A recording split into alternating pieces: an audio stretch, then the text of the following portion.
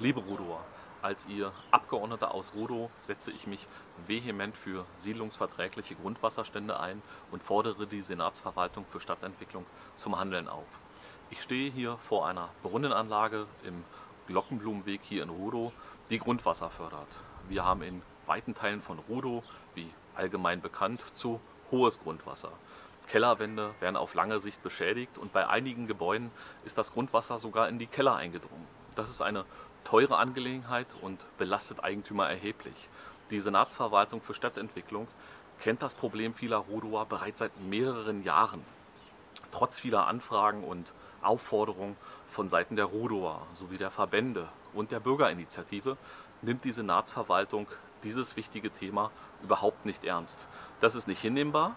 Ich selbst habe als Abgeordneter die Sorgen der Rudower an die Verwaltung herangetragen. Ich selbst habe mehrere parlamentarische Anfragen gestellt und sogar am runden Tisch Grundwassermanagement die Sorgen der Rudower kommuniziert.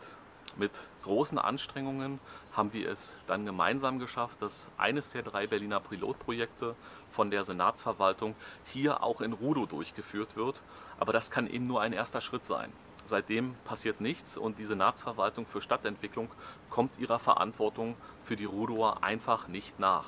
Ganz im Gegenteil, so beschloss neuerdings die Senatsverwaltung für Stadtentwicklung sogar die Stilllegung der Förderbrunnen im Rudower Blumenviertel. Das ist nicht nur Stillstand, sondern Rückschritt.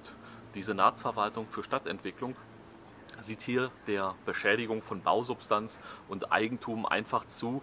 Das geht überhaupt nicht. Ich fordere zum Schutz des Eigentums die Fortsetzung der betrieblichen Erlaubnis für die Förderbrunnen und ein nachhaltiges Konzept zur Schaffung siedlungsverträglicher Grundwasserstände.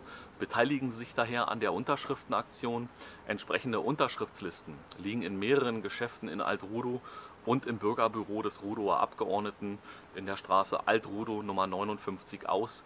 Zeigen Sie dem Senat, dass er endlich handeln muss. Ihr Rudower Abgeordneter Christian Hausmann.